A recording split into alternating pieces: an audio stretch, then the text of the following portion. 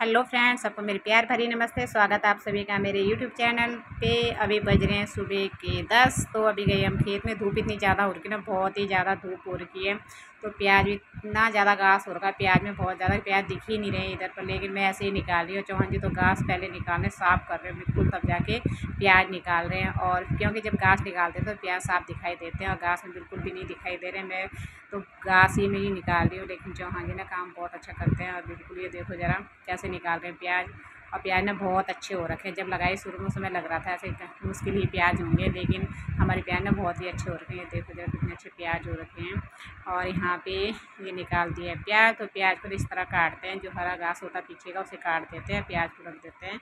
ऐसे तो सानवी यहाँ मिट्टी में खेल रही है। और सानवी से हम बात कर रहे हैं तो बाद में सानवी को गुस्सा आ जाता है। फिर अपनी मम्मी पे चिपकती है कि मुझे क्यों चिढ़ा रहे तुम लोग? ये देखो कैसे बना रही है। और ये चिपक गई अपनी मम्मी पे और यहाँ पे निकाला प्याज, यहाँ पे काट के रखे हुए हैं ये प्याज।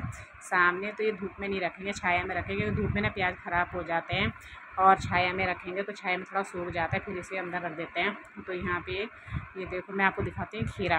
तो ये देखो, खीरा की बेल है, इतनी छोटी है, बहुत छोटी है खीरा की बेल, लेकिन इसमें ना खीरा भी और फूल भी लगा। मैं आपको तो ये देखो, यहाँ पे खीरा लगा हुआ और बेल बिल्कुल ही छोटी है, ये देखो ज़रा। मतलब ये है कि यार समझ में नहीं आ रहा कौन सा फ़ैशन आ रखा है, ये करेला और ये कद्दू कद्दू की बेल भी बहुत छोटी है और इसमें दो तीन फूल आ रखे हैं। कद्दू, छोटा सा कद्दू लगा हुआ है और फिर मैं आपको दिखाऊँगी आगे चौहान जी दिखा रहे हैं आप लोगों को। प्याज, ये कि इतने ज़्यादा पसीने से इतने तर हो रखे ना, क्योंकि धूप इतनी ज़्यादा है, बहुत ज़्यादा धूप है। ये है लौकी की बेल, लौकी में फूल आ चुके हैं, ज़्यादा बड़ी हुई है, लंबी की है लौकी मतलब बेल बहुत छोटी है तो फूल इसमें भी आ चुके हैं। एक फ़ैशन आ रखा कि मतलब ये है कि पहले सब्ज़ी बोते तो लंबी लंबी बेलें होती थी, लेकिन अब बहुत छोटी बेलें होती है तो ये है कुमोर तो कुमोर ना हमारे भाषा में इसे कुमोर कहते हैं। आप लोगों के पास में क्या कहते हैं, आप ज़रूर कमेंट्स में बताना। मेरे पूरे पजामे चिपक चिपकते हैं चूटते भी हैं। जब कपड़ों में चिपक जाते हैं ना, बहुत ही मुश्किल होता है इसे निकालना। तो ये देखो प्याज ने इस तरह, प्याज जब ऊपर होता है ना तो बहुत ही अच्छे प्याज, गहरे प्याज नहीं होने चाहिए। गहरे प्याज में ना दाना बहुत कम पड़ता है। ऊपर अगर ज़्यादा ऊपर हो तो दाना बहुत ही अच्छा पड़ता है। इसलिए लोग ना प्याज को गहरे नहीं लगाते बिल्कुल ये खीरा देखो, ये ना खीरे के बेल के पास था, ये देखो, और ये खीरे की बेल को काटता है। ये सब्जियों की जो बेल वगैरह होती है, उसको जड़ से बिल्कुल काट देता है, ऐसा ये कीड़ा बहुत ही खतरनाक कीड़ा है। उसके बाद बाहर धूप लग रही तो हम बरांडे में अंदर आए और बरामदे में हम इस तरह प्याज को काट रहे हैं, ये देखो ज़रा, क्योंकि जो ये पीछे वाली डंठल है इसको काटते हैं और आगे वाली जो इसमें जड़ी होती है, उसको भी निकालते हैं, तब इसको रख देते हैं छाया में।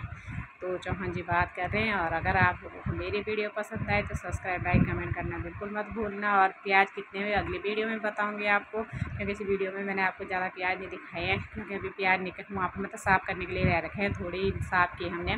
तो जो, ये मेरे बांधे ना, ये बांधे इसीलिए बांधे हैं क्योंकि जो ये प्याज है ना लेट तक रहते हैं, इसमें वो जमते नहीं, कहते हैं बाद में प्याज कैसे वो जम जाते हैं, बिल्कुल अंकुर से उसमें आ जाती है तो अगर इस तरह बांधो ना तो इस तरह अंकुर बिल्कुल नहीं आती है। तो मैंने बाँध के इसे रख दिया और यहाँ पर हमारे अभी प्याज है प्याज बचे हैं छाँटने के लिए मिलते हैं आपको अगले वीडियो में।